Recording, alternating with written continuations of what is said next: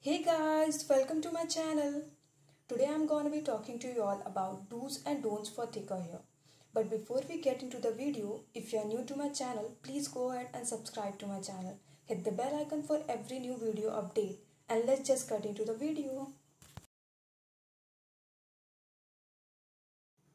Number 1. Use the right shampoo and conditioner. Using the right shampoo and conditioner is very important for your hair health.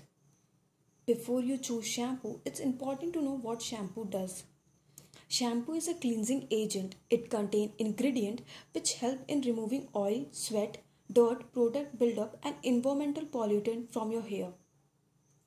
Conditioner on the other hand contain natural oil, protein and botanical extract that help keep hair soft, shiny and smooth.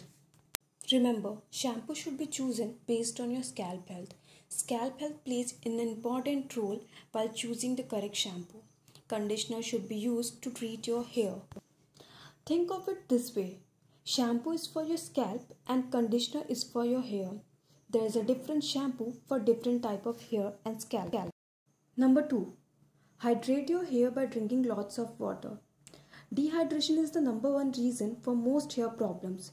When your hair lacks water, it dries out and get frizzy. By drinking 8 glass of water every day, you are hydrating your hair follicles and preventing unwanted breakage. Think of your hair like plant. Plants need water to grow and dry up without it. So does your hair. The more water it gets, the more it grows. Number 3. Regularize your sleep pattern to reduce stress. Proper sleep is very important for your hair because stress can push your hair follicles into a resting phase so that they don't produce new hair. Sleep is important for protein synthesis of the hair and release the growth hormone also which is very important for overall hair health. Number 4. Massage your scalp. Massaging your scalp can effectively stimulate blood circulation to your hair follicle. This in turn promote healthy hair growth and massaging can also help with removing dead skin cell on the scalp.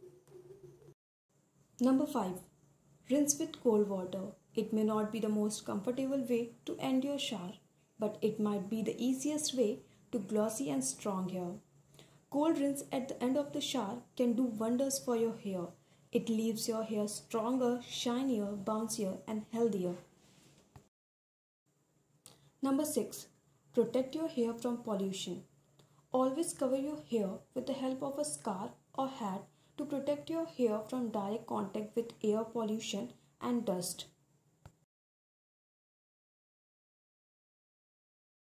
Number 1. Don't overwash your hair. Shampoo is designed to clean the scalp and remove excess oil, but if it is overused, it can damage your hair. Shampoo strips the important oil the scalp produces and can leave the hair and scalp too dry. Number 2.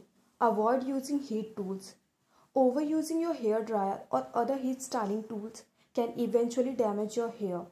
This happens because a hair dryer blows intense focus heat directly onto your hair, which can cause hair to lose all the moisture right away. This can lead to dehydrated strands that break more easily. Number 3. Don't apply oil on your greasy hair.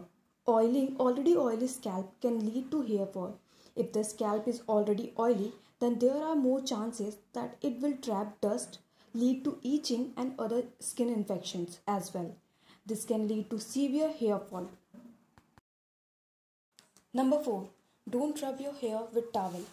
When your hair is wet, it is at its most fragile state. At this point, Rubbing it with a towel can cause long term hair damage and cause your hair to fall out. Excessive rubbing with a towel can lead to major frizz. Number 5. Never remove tangles from your wet hair. Never detangle wet hair.